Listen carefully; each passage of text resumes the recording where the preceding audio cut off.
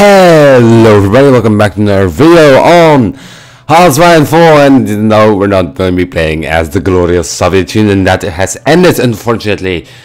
But we're going to be starting a new series.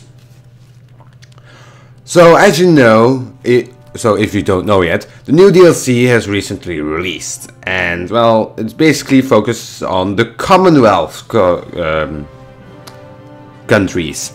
And if you don't know what the Commonwealth is, the Commonwealth is the um, like the all the nations, all the colonial nations of like for example Australia, Canada, British Raj, um, New Zealand with Johnny fucking Savage, and yeah, all that fucking shit. So new game, I've been testing it out a little bit, and I've decided to play as the British Raj. The crown jewel of the British Empire, the Raj of India is a strange combination of imperial power and imperial powerlessness. A tiny elite of British civil servants rule over a vast subcontinent filled with hundreds of millions of subjects. From their ranks recruits the Indian army, which fought bravely in the Great War. Indian leaders hoped that the sacrifices made in the last war would help India gain her independence from Britain, but so far that hope has been di disappointed. With the new war looming, many believe that the time has come to take that freedom by whatever means necessary. Select that country. So, let's just immediately jump in. I'm gonna put historical AI focuses. Hmm. Should I put them all? Yeah, let's put them off. There you go. Uh, I've been testing a little bit. Let's let's let this load. So, for you people who don't know what the British Raj is, the British Raj is basically India, except for Pakistan, of course. And yeah, so I'll get into whatever we have real quick. So we have a total of two military factories. Not that much, but still we have a total of 14 civilian factories, so at least it's better than Australia. Let's start building some of those. Um, okay, I'll go over that later. Research. Let's get that, and also let's get hmm basic machine tools. There we go. Now we are kind of in a pickle. We are the British Raj, and we have some uh, neg mostly negative modifiers. We have princely states, daily autonomy progress gain minus 0.1. I'll explain what that means later when I get into more of the DLC. Marginalized Muslim community, so Pakistan stuff. National unity minus 10% and recruitable population factor minus 20 the agrarian society, so we have less recruitable population, and of course the risk of famine. Now we have a total of 300, uh, 327 million men, like under our rule. So if we go to national focuses, so foci I should say, but the game decided to make it focuses. Um, you have of course the Great Indian Peninsula Railways, which gets us into more um, like factories and stuff.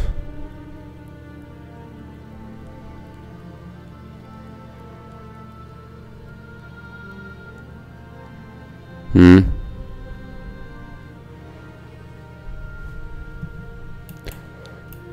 Okay, so we have a few paths here. We have the military path, we have the uh, more industrial path to get so some more industrial expansion, some resources, and of course the good old thingies.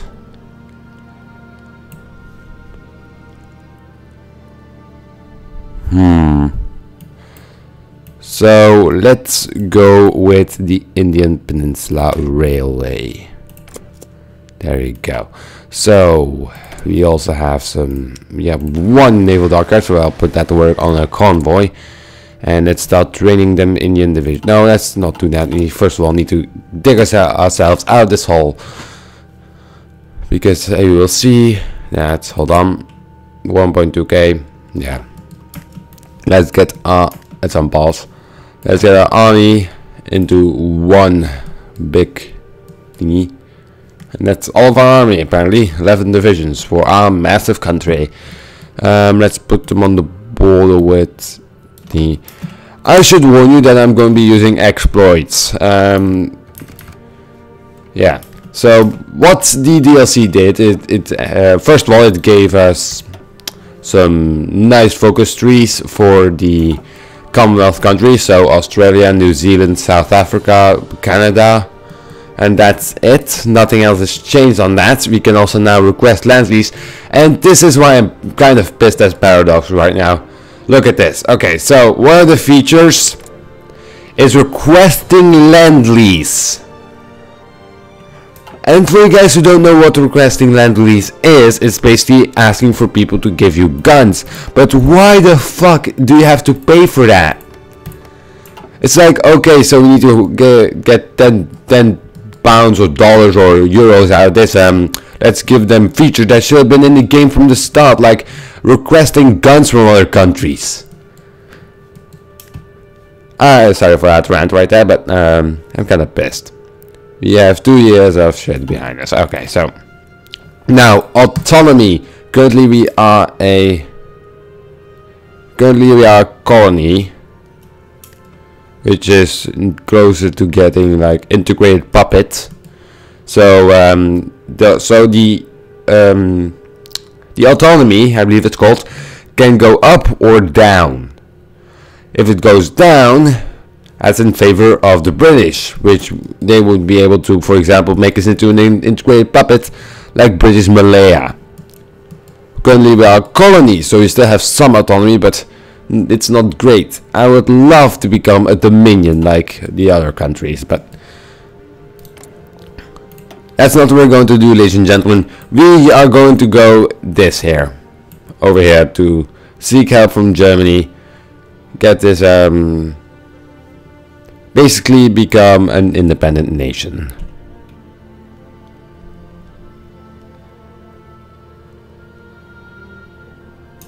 Okay, let's up to speed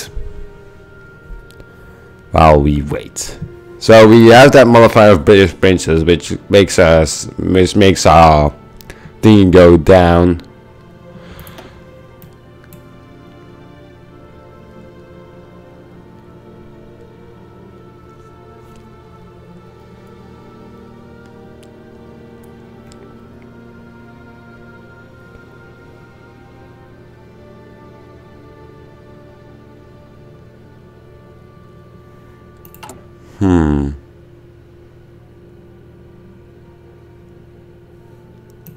The marginalized Muslim community is not doing well in our favor, but whatever, I don't give a fuck.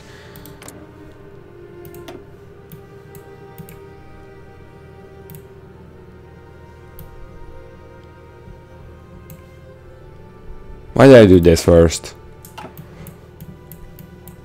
I'll probably get into provincial elections soon.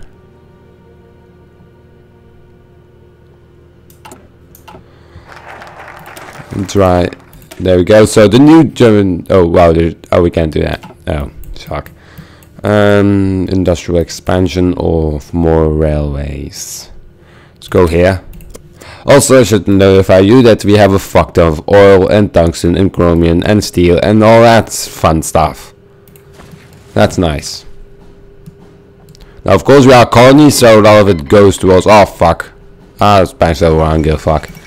Um, so the lava um, shit goes over to the United Kingdom if they want to uh, trade with us, of course.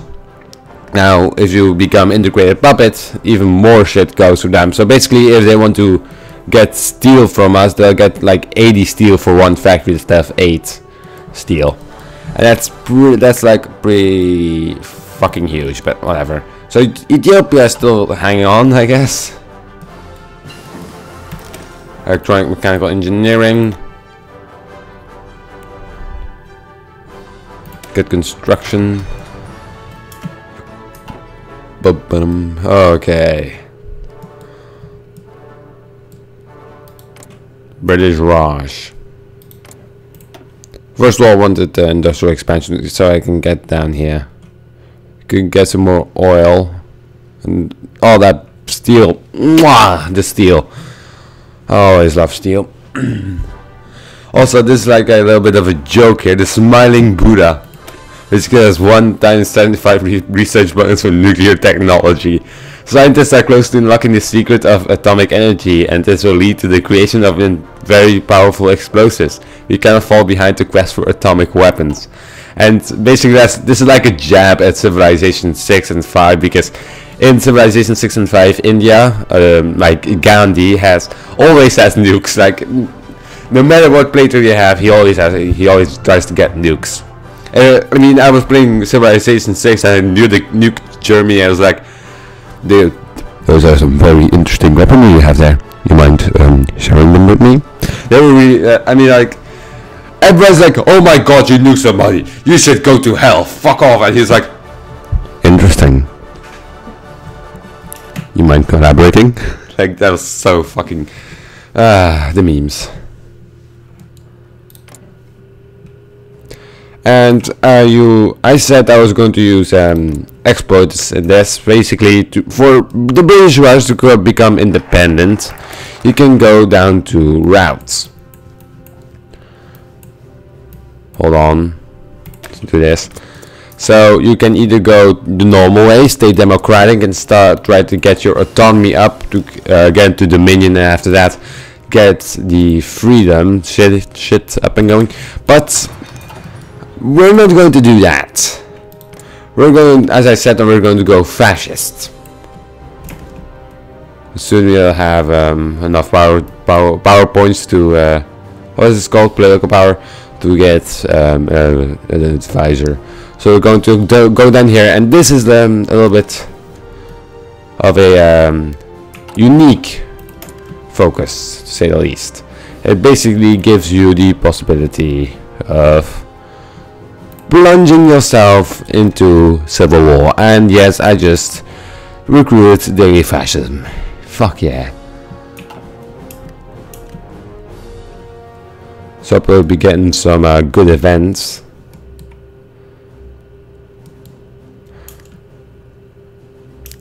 Now, as I said, we're going to be using exploits, and now I'm going to explain what exploit I'm going to be using. So I've just told you that we're going to plunge our country into civil war, and we're going to be on the nationalist side of things. This is going to mean that the our army here, this army, will be in the enemy's hands, and we will get our own army. But there's a little bit of a bug right now, so um, I see somebody use it. I believe how it works is you send your units into foreign soil like United Kingdom and they just disappear. or they just stay there and you can get uh, into Delhi or whatever. Really easily and it's like kind of cheeky but whatever. Like I'll probably send them in the Sinai Desert or something. We're currently working on reinforcements so I won't train any new units and of course training new units is kind of redundant because I'm going to fight them anyways. Okay, so the border war is happening over here. Border conflicts. So basically, the people who has the most units in this uh, in these regions get uh, a fucking like a, a boost to something morale, whatever. That's something uh, particularly to China and shit. Nothing to worry about. Boom, boom, boom. Assam oil. In the Soviet Union. Oh, fuck off. So let's take a look at our resources real quick. We have some rubber in the south. We have some nice tungsten all over the place, so that's to be nice. Steel is the most important one for us, to say the least. Tungsten is then is my second most important, and oil is definitely like like vying for se for second, definitely. It's hard to say. I mean, oil is good if you want to get a mobile mobile army, but if you want to get superior firepower, tungsten is good to get them good old uh, massive artillery pieces. Mandalay.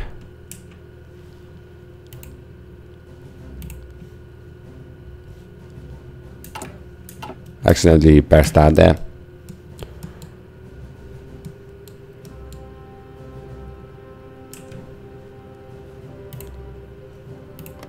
Oh, fuck. So let us just wait.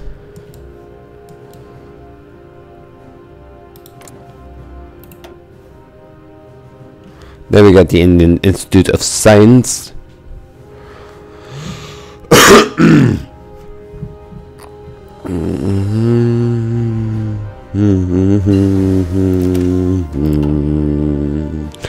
I love this music.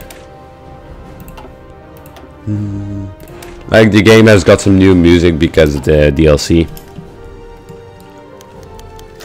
I said a public support is sufficient, the coup can be executed. So 13%. Small, that's almost more than the Democratic. Of course we're not aligned, so I mean it's not that big of a deal. Never really understood why the British Raj is unaligned. They are a puppet of the uh, democratic powerhouse that is the United Kingdom. uh, they're not a powerhouse, like they're they're shit at what they do. But let's hope Japan, because we're going to be going fascist. So let's hope that Japan can actually do it, get shit together, and get into China proper.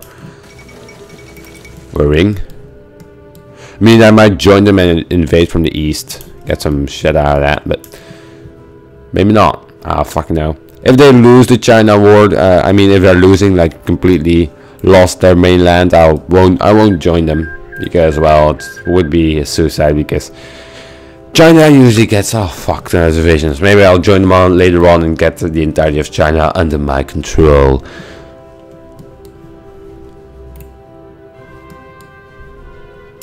Now, how's that logistics doing?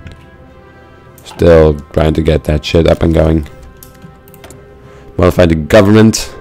Can't do this because we need to be fully independent. Hmm.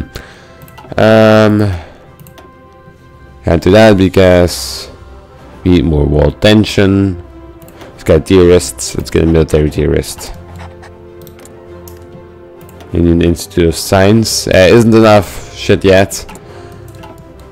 But as soon as the nationalists uh, win in Spain, we should see some that will tension plop up high like no tomorrow and Japan should be declaring war on China soon so we will be able to get some of them provincial election up and going then going to Swaraj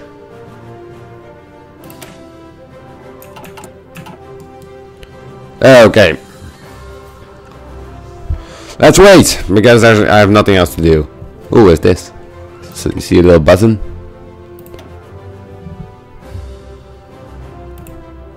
Who played this? You can actually now see what uh, music will be playing. Nice. Good mechanical computing.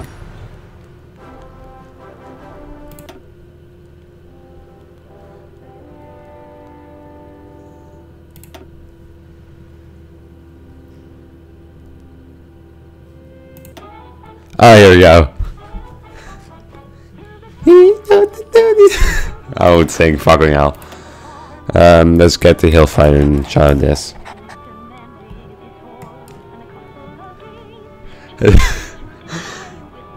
For nothing was forced to be a loner, yet he was the tiniest man on earth. And when the law came one day and wanted them to pay, he looked them in the eyes and said, I wish that I can give you what you want, but something out of nothing is still nothing. Fucking hell. That like that song goes really high. That's some really high pitched fucking shit. I can't reach that. I'm sorry. And when the British come to sigh, and I am lonely,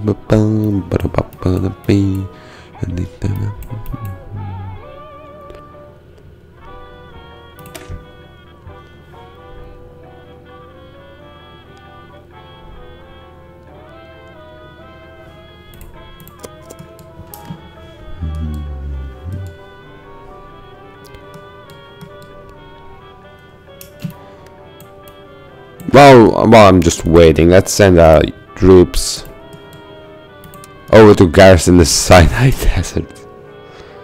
And you, you don't need to guard the coastline. You don't need water.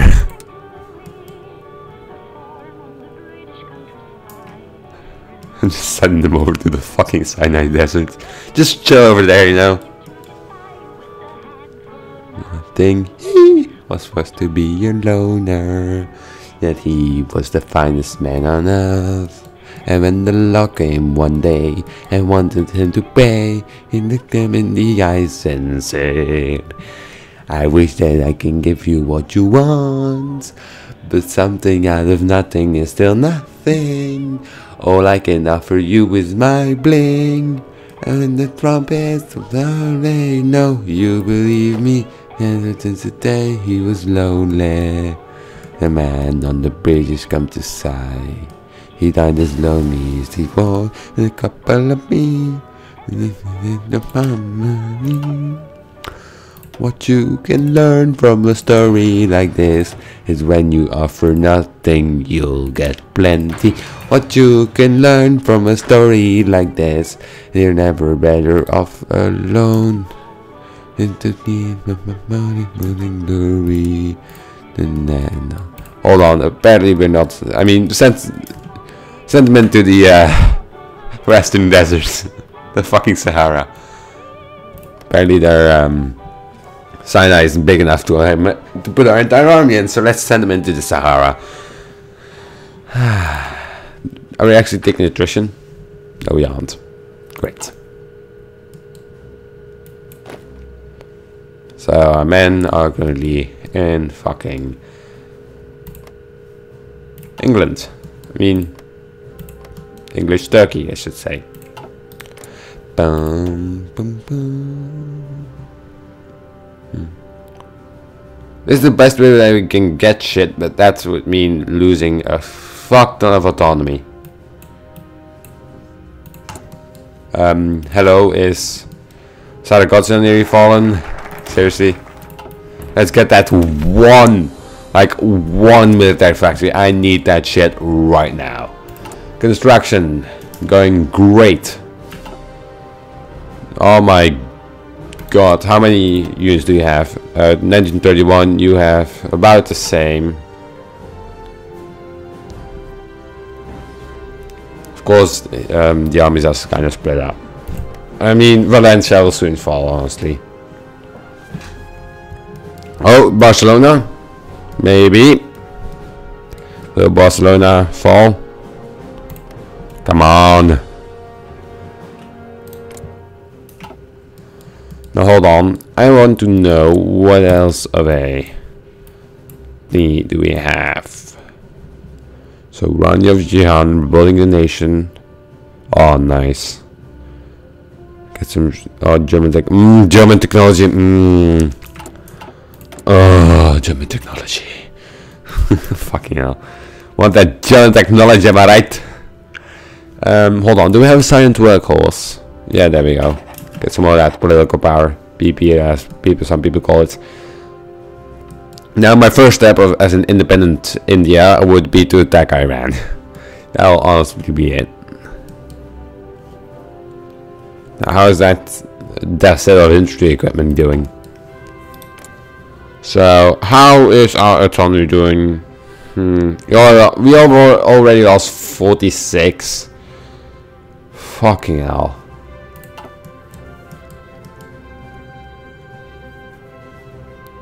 Lucky enough, the uh, British don't won't like try to suppress us because they have this. Oh yeah, one of the also one of the new features is this continuous focuses. I don't know actually whether this is. Oh, there, there goes that. Don't actually know where this is in um, like a paid feature. I mean, if that also is paid, I don't know what they give for free.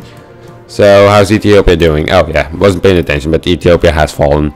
Now National Spain has fallen, so... Oh, can I get them uh, new elections? Provincial elections, there we go. There we go. Provincial elections. The new Government of India Act mandates elections in the provinces, establishing some measure of local government responsible to the Indian population. We will see what this effect has on the British rule. You get some more shit. More provincial elections. This will modify the princely state to minus 0.3.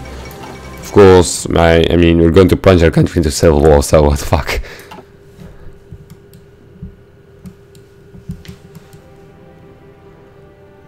So our Tyrant army is sitting in the Sinai Desert. You're not sitting right, you need to sit at the tip in the mountains. Fucking hell. Go sit in the mountains, you piece of shit. There you go, that should do the trick. There we go, sit in the mountains, that's where you belong. Ah. Now, Ceylon isn't all ours. I mean, do you have a uh, for that? To demand Ceylon?